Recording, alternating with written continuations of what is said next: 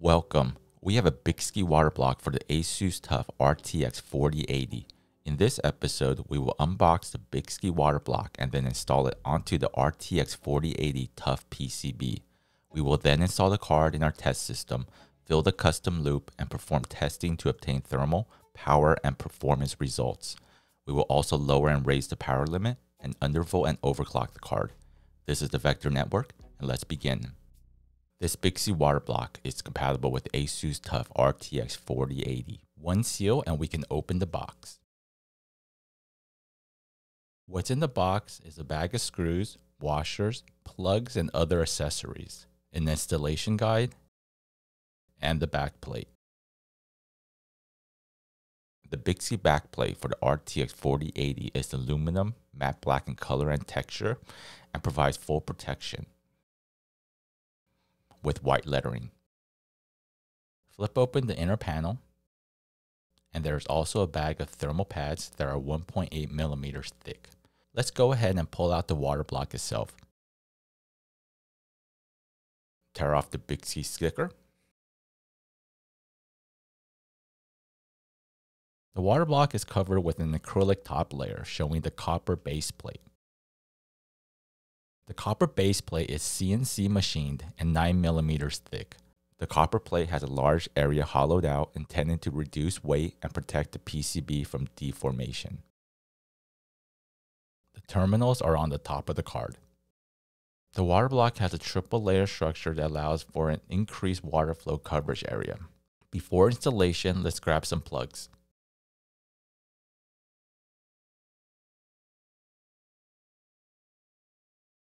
And add these plugs to the terminal and also on the other side. The installation begins by installing the stock ASUS TUF I.O. bracket back onto the PCB using the same five Phillips head screws. Next, we can cut the thermal pads to size and place them on the water block. Then, let's apply Noctua NT-H2 thermal paste and then we can drop the PCB right on top. The four screws around the processor each require a washer, and then screw in the Phillips head screws in a manner so that tension is applied more evenly. Then there are two more Phillips head screws to secure the I.O. bracket to the water block. From here, we can install the backplate. The instructions do not indicate any thermal pads to be placed on the backside, and the provided 1.8 millimeter thermal pads will be too thin. So let's place the backplate right on top and secure it to the PCB and water block using six of the provided Phillips head screws. For fittings, let's go ahead and add two EKWB 90 degree adapters and two Koolance's quick disconnect male fittings. This Bykski water block model number is N-AS4080 Strix-X and is compatible with both the RTX 4080 ASUS Strix and TUF models. Click on the link in the top right hand corner for ASUS TUF RTX 4080 unboxing, deshroud, teardown, and thermal testing. Stay tuned as the fill followed by the testing is coming up right now.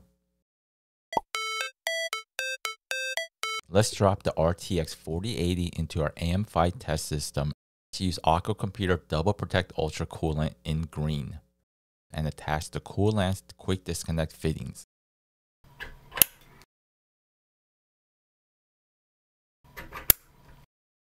Click on the link in the top right hand corner for the RTX 4090 Founders Edition full teardown and thermal video.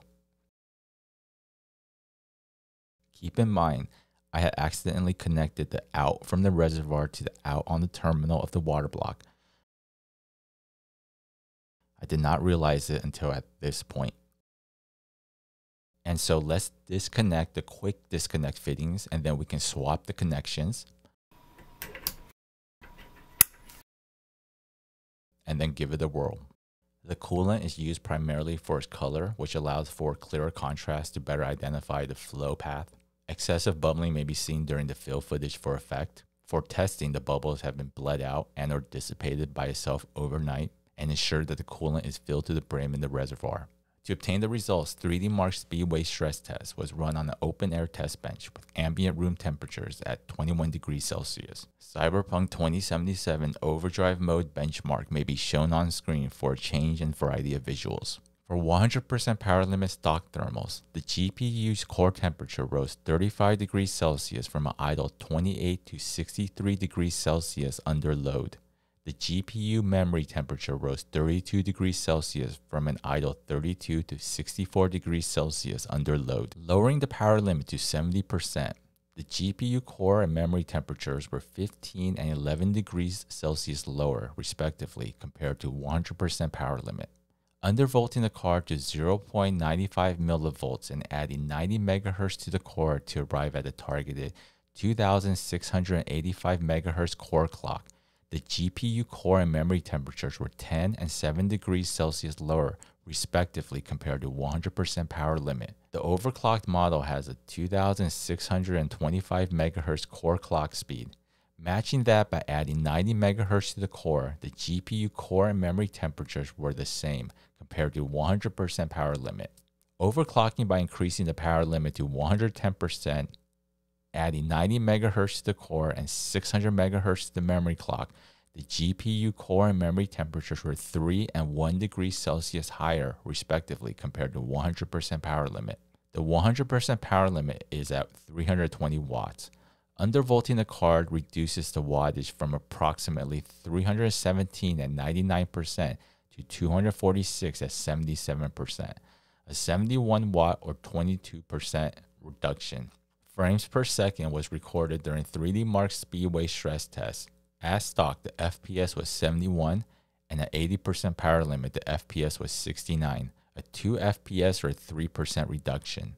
Stay tuned for upcoming episodes as the plan is to install more water blocks onto this Asus TUF RTX 4080 and to further install it into a custom loop water cooled PC build. Like the video by clicking the like button. If this is your first time here, go ahead and subscribe to the channel this is the Vector Network. Please click on the bell for a notification when the next episode airs. Click on the links here for more videos like this, including video card and water cooling component teardowns, unboxings, and thermal testing for water cooled PC builds. Thank you, and I'll see you at the next episode.